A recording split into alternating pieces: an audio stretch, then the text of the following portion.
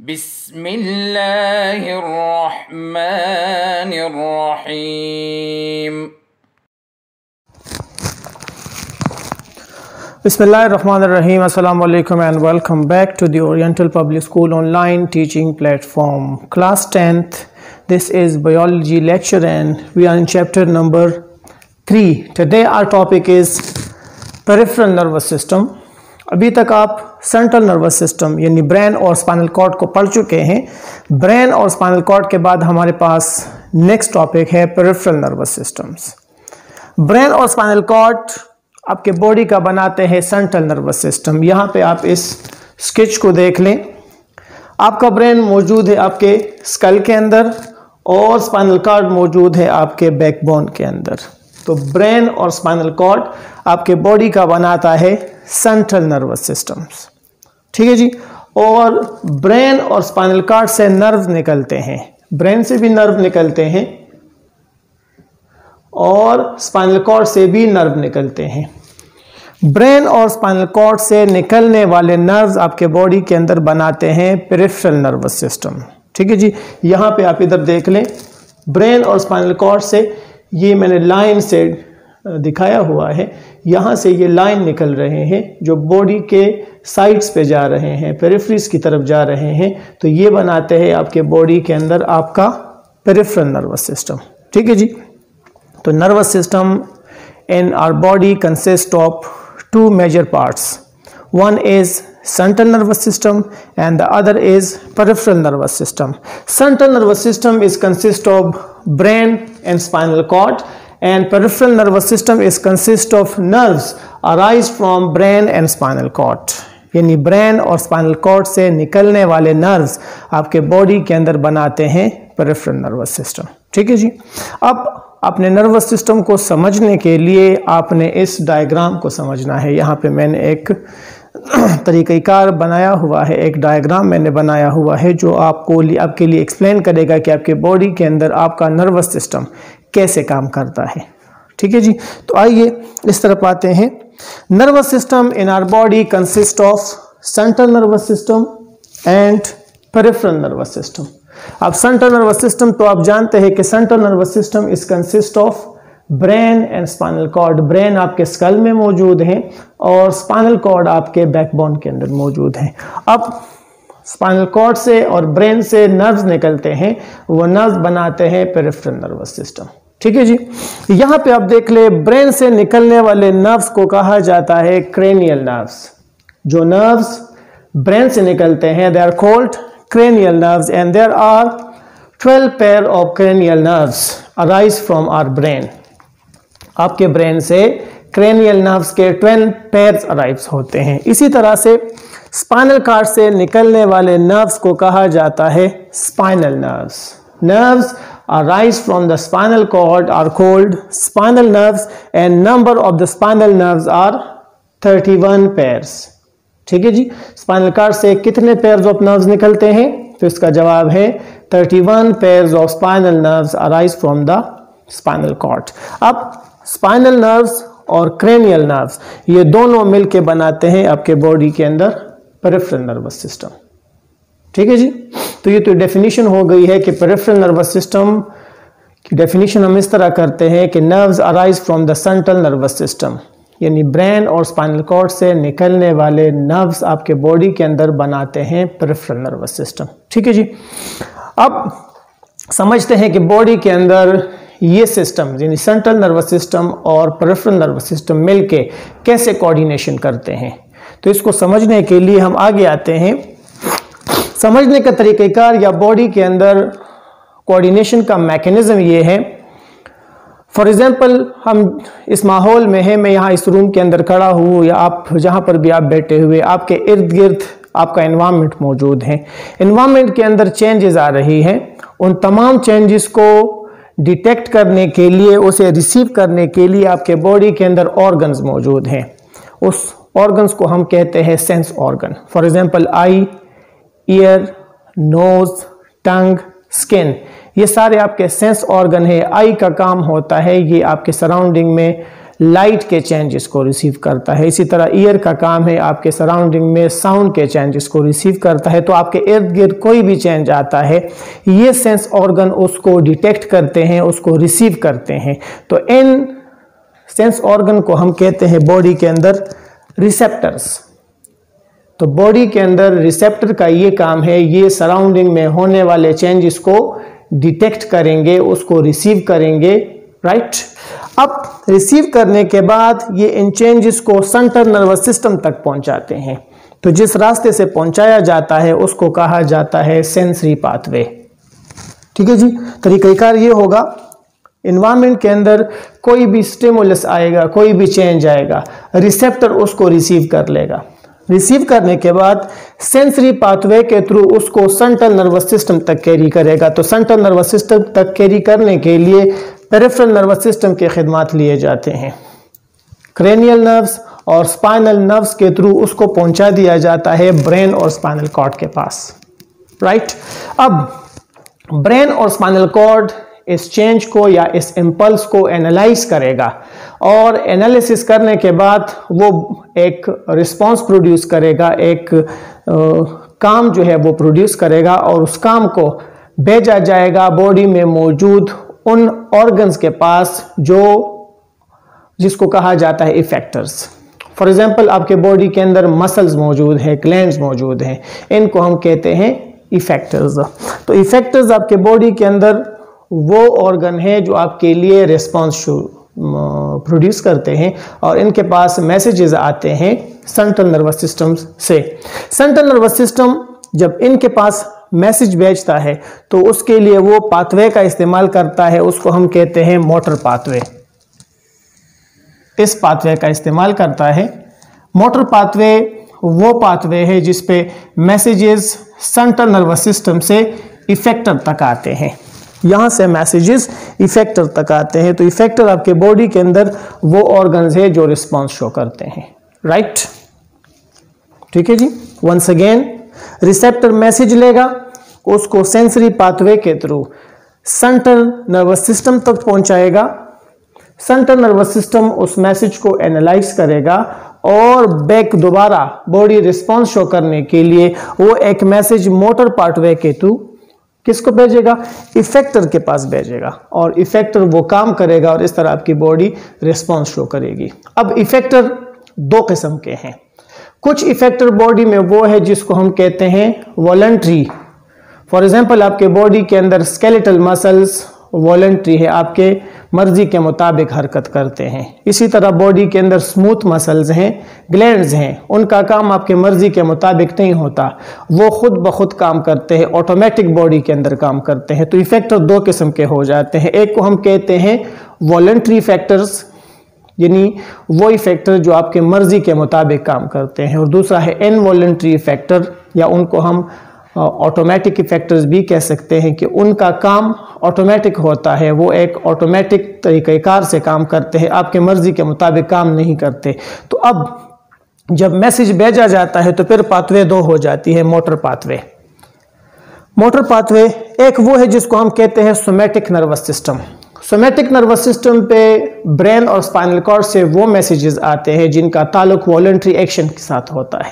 For example मैं लिखना चाहता हूँ, मैं वॉक करना चाहता हूँ, मैं दौड़ना चाहता हूँ, मैं दरवाज़ा खोलना चाहता हूँ राइट वो तमाम काम जो हम अपनी मर्ज़ी के मुताबिक करते हैं, इनको हम कहते हैं वॉलेंट्री एक्शन तो बॉडी में जो भी वॉलेंट्री एक्शन करना होता है, वो मैसेजेस सोमेटिक नर्वस सिस्टम के थ्रू आते हैं। और सोमेटिक नर्वस सिस्टम आपके बॉडी के अंदर तमाम स्केलेटल मसल्स कंट्रोल करते हैं। इनके इफेक्टर्स कौन है? स्केलेटल मसल और स्केलेटल मसल आप जानते हैं, उन तमाम मसल्स को कहते हैं जो आपके स्केलेटल सिस्टम के साथ अटैच होते हैं and they are voluntary in nature voluntary nature का मतलब है कि आपके मर्ज़ी के मुताबिक इसकी मूवमेंट होती है।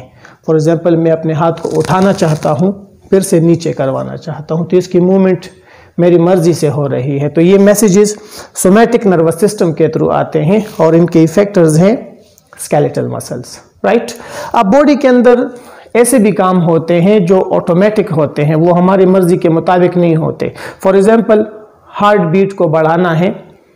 इसी तरह से बॉडी में मौजूद स्मूथ मसल्स आपके डाइजेस्टिव सिस्टम्स के अंदर मौजूद हैं। उस डाइजेस्टिव सिस्टम के अंदर एक मूवमेंट मौजूद है, जिस मूवमेंट के थ्रू खुराक को आगे पुश किया जाता है। अब इन स्मूथ मसल्स की मूवमेंट हमारे मर्ज़ी के मुताबिक नहीं है।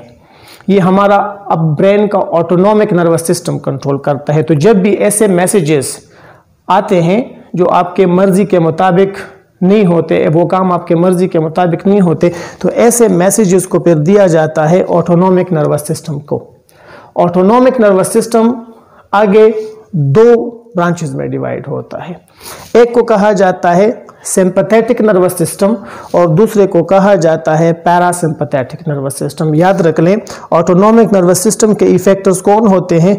ऑटोनॉमिक नर्वस सिस्टम के इफेक्टर आपके बॉडी के अंदर स्मूथ मसल्स हैं कार्डिक मसल्स हैं और ग्लैंड हैं राइट अब स्मूथ मसल्स कार्डिक मसल्स और ग्लैंड ये आप जानते हैं कि इनकी movement for example cardiac muscles की मूवमेंट तो हमारी मर्ज़ी के मुताबिक नहीं होती, ना हम अपने हार्ट की मूवमेंट को बढ़ा सकते हैं, ना कम करवा सकते हैं, ना रोक सकते हैं। इसी तरह से बॉडी में मौजूद स्मूथ मसल्स की मूवमेंट भी हमारे अख्तियार में नहीं है। इसी तरह से बॉडी में मौजूद ग्लैंड उसकी सिक्रीशंस को ऑन करना या सिक्रीशंस को ऑफ़ करना, ये भी हमारे अख्तियार में नहीं है। तो ये ऑटोमेटिक बॉडी के अंदर कंट्रोल होते हैं तो इसका कंट्रोलिंग कहाँ से हो रहा है? ऑटोनॉमिक नर्वस सिस्टम से ये कंट्रोल किए जाते हैं। तो यहाँ पे इफेक्टर्स हो जाते हैं। ऑटोनॉमिक नर्वस सिस्टम के इफेक्टर कौन है? Effectors are smooth muscles cardiac muscles and glands इनका रबता इन्हीं लोगों के साथ होता है और ये बॉडी के लिए फिर रिस्पॉन्स शो करते हैं। राइट अब यहाँ पे तरीक़ाकार या काम करने का तरीका कुछ इस तरह है। Autonomic nervous system for example body को इमरजेंसी सिचुएशंस के लिए प्रिपेयर करना है। जब भी बॉडी के ऊपर कोई इमरजेंसी सिचुएशंस आती है इमरजेंसी सिचुएशन का मतलब है कि या तो हम बहुत ज़्यादा एक्साइटमेंट ज़्यादा हो जाती हैं एक्साइटेड हम होते हैं, हम एंगर की हालत में होते हैं या हम डर जाते हैं फियर की हालत में होते हैं तो ये तमाम सिचुएशंस को हम कहते हैं इमरजेंसी सिचुएशंस इस इमरजेंसी सिचुएशंस में आपका ऑटोनॉमिक नर्वस सिस्टम मैसेज भेजता है सिंपथेटिक नर्वस सिस्टम को। यानी फॉर एग्जांपल आपको गुस्सा आ रहा है। गुस्से के दौरान जब आपको गुस्सा आ जाता है तो sympathetic nervous system autonomic nervous system sympathetic nervous system को मैसेज भेजता है। सिंपथेटिक नर्वस सिस्टम आपके बॉडी के अंदर चेंजेस लाता है। फॉर एग्जांपल गुस्से की हालत में हमारी हार्ट बीट बढ़ जाती है, दिल की धड़कन बढ़ जाती है। बॉडी में मेटाबॉलिज्म का रेट बढ़ जाता है। इसी तरह से स्किन में मौजूद वेसल्स डायलेट हो जाते हैं, जिससे चेहरा लाल हो जाता है। प्यूपल्स आप कह सकते हैं कि डायलेट हो जाते हैं, आँखें खुल जाती हैं, ज़्यादा लाइट आँखों के अंदर जाती है। तो ये तमाम चेंजेस लाए जाते हैं सिंपथेटिक नर्वस सिस्टम के थ्रू राइट तो सिंपथेटिक नर्वस सिस्टम का मेजर काम होता है prepare body for emergency situation इसी तरह जब हम डर जाते हैं तो डर की हालत में भी सिंपथेटिक नर्वस सिस्टम बॉडी के अंदर चेंजेस लाता है राइट अब फॉर एग्ज़ाम्पल वो इमरजेंसी सिचुएशन चला गया है। हमारा गुस्सा ठंडा हो गया है। गुस्सा हमें आया हुआ था तो सिंपथेटिक नर्वस सिस्टम ने गुस्से की हालत में हमारी बॉडी को प्रिपेयर कर दिया। ठीक है जी? अब जब गुस्सा आपका ठंडा होता है तो उसके लिए sympathetic nervous system autonomic nervous system message भेजता है पैरासिम्पथेटिक नर्वस सिस्टम को। तो parasympathetic nervous system sympathetic nervous system ने जितने भी चेंजेस लाए हुए हैं फॉर एग्जांपल हार्ट बीट को बढ़ाया हुआ है रेट ऑफ़ ब्रीथिंग को बढ़ा दिया गया है, इसी तरह से रेट ऑफ़ मेटाबॉलिज्म को बढ़ा दिया गया है, इन तमाम चेंजेस को वो रिवर्ट करता है, वो वापस करवा लेता है तो बॉडी के अंदर जितने भी चेंजेस आई थी, यानी बॉडी जो इमरजेंसी सिचुएशन के लिए प्रिपेयर हुई थी, उन तमाम चेंजेस को रिवर्स किया जाता है, उसको बैक किया जाता है और बॉडी फिर से नॉर्मल कंडीशन में आ जाती है। ठीक है? तो para nerve sympathetic nervous system body को फिर से नॉर्मलाइज करता है राइट इसी तरह आपके बॉडी के अंदर कोऑर्डिनेशन होती है। वंस अगेन दोबारा से मैं इसको रिवाइज कर रहा हूँ। याद रख ले बॉडी के अंदर nervous system consist of central nervous system and peripheral nervous system central nervous system आपके बॉडी में ब्रेन और स्पाइनल कॉर्ड से बनता है। इस तरह पेरिफेरल नर्वस सिस्टम ब्रेन और स्पाइनल कार्ड से निकलने वाले नर्व से बनता है। ब्रेन से जो नर्व्स निकलते हैं, उनको क्रेनियल नर्व्स कहा जाता है। स्पाइनल कॉर्ड से निकलने वाले नर्व्स को स्पाइनल नर्व्स कहा जाता है। इसके नंबर्स भी मैंने बता दिए हैं। ब्रेन से 12 पैरोक्रेनियल नर्व्स निकलते हैं। स्पाइनल कॉर्ड से 31 पैरोज ऑफ़ स्पाइनल नर्व निकलते हैं। अब बॉडी में इनका कोऑर्डिनेशन का मैकेनिज्म कुछ इस तरह से है कि बॉडी के अंदर रिसेप्टर्स होते हैं। रिसेप्टर्स सराउंडिंग में होने वाले चेंजेस को रिसीव करते हैं और सेंसरी पाथवे के थ्रू उसको सेंट्रल नर्वस सिस्टम तक कम्युनिकेट करते हैं। तो ये मैसेजेस गुजरते हैं पेरिफेरल नर्वस सिस्टम के थ्रू क्रेनियल नर्व्स या स्पाइनल नर्व्स के थ्रू ये पहुँच जाते हैं ब्रेन और स्पाइनल कॉर्ड के पास। पहुँचने के बाद ब्रेन और स्पाइनल कॉर्ड उन मैसेजेस को, उस इम्पल्सिस को वो एनालाइज करता है, उसको प्रोसेस करता है और प्रोसेस करने के बाद उसी के हिसाब से वो एक रिस्पॉन्स प्रोड्यूस करता है। वो रिस्पॉन्स मोटर पाथवे को दिया जाता है। तो मोटर पाथवे वो पाथवे है जिसमें मैसेजेस सेंट्रल नर्वस सिस्टम से इफेक्टर तक आते हैं। अब मोटर पाथवे दो तरह का है। एक को कहा जाता है सोमैटिक पाथवे और दूसरे को कहा जाता है ऑटोनॉमिक पाथवे सोमैटिक पाथवे पे वो मैसेजेस आते हैं, वो एम्पल्स आते हैं, जिनका ताल्लुक आपके बॉडी में वॉलेंट्री एक्शन के साथ होता है। जितने भी आप वॉलेंट्री एक्शंस करते हैं, यानी वो काम जो आपके मर्ज़ी के मुताबिक होते हैं तो वो मैसेजेस आते हैं सोमेटिक नर्वस सिस्टम के पास। तो सोमेटिक नर्वस सिस्टम के इफेक्टर्स आपके बॉडी के अंदर स्केलेटल मसल्स होते हैं और स्केलेटल मसल्स आपके वॉलेंट्री मसल्स हैं, इनकी मूवमेंट आपके मर्ज़ी के मुताबिक होती है। तो जितनी भी हम वॉलेंट्री एक्शंस करते हैं, इन तमाम वॉलेंट्री एक्शंस को सोमैटिक नर्वस सिस्टम कंट्रोल करता है। ठीक है जी? दो तरह के एक्शन दूसरी किस्म के एक्शन आपके बॉडी के अंदर होते हैं ऑटोमेटिक फ़ंक्शंस ऐसे काम जिसमें आपकी मर्ज़ी इन्वॉल्व नहीं होती और वो आपके बॉडी के अंदर होते हैं तो ऐसे कामों को कंट्रोल करता है बॉडी का ऑटोनॉमिक नर्वस सिस्टम और ऑटोनॉमिक नर्वस सिस्टम के इफेक्टर्स हैं स्मूथ मसल्स कार्डिक मसल्स और बॉडी में मौजूद ग्लैंड्स अब अब जानते हैं स्मूथ मसल कार्डिक मसल और ग्लैंड्स इनके फ़ंक्शंस आपके मर्ज़ी के मुताबिक नहीं होते तो इस वजह से इसको हम कहते हैं ऑटोनॉमिक नर्वस सिस्टम्स अब ऑटोनॉमिक नर्वस सिस्टम के दो टाइप्स हैं। एक को कहा जाता है sympathetic nervous system sympathetic nervous system आपके बॉडी के अंदर जब भी इमरजेंसी सिचुएशंस आती हैं, और इमरजेंसी सिचुएशन मैंने बता दिया है कि आप एक्साइटमेंट आप पे आती है, आपको एंगर आता है, इसी तरह से आप पे खौफ आ जाता है, आप डर जाते हैं। तो इन सिचुएशंस को कहा जाता है इमरजेंसी सिचुएशन इन इमरजेंसी सिचुएशन में आपके बॉडी को प्रिपेयर करता है। तो प्रिपेयर करने का ये तरीक़ाकार होता है कि फॉर एग्ज़ाम्पल हार्ट बीट को कभी बढ़ाया जाता है तो कभी कम किया जाता है। इसी तरह स्किन में मौजूद वेसल्स को कभी डायलेट किया जाता है तो कभी इसको कंस्ट्रिक्ट किया जाता है। रेट और ब्रीदिंग को कभी बढ़ा दिया जाता है तो कभी कम किया जाता है। तो ये वो तमाम चेंजेस है जिसको हम कहते हैं कि prepare body for emergency situations right तो sympathetic nervous system prepare your body for emergency situation और जब इमरजेंसी सिचुएशंस चला जाता है तो फिर पैरासिम्पथेटिक नर्वस सिस्टम आपके बॉडी को नॉर्मलाइज करता है। यानी जो चेंजेस सिंपथेटिक नर्वस सिस्टम ने आपके बॉडी के अंदर लाई हुई है, उन तमाम चेंजेस को रिवर्ट किया जाता है। ठीक है जी?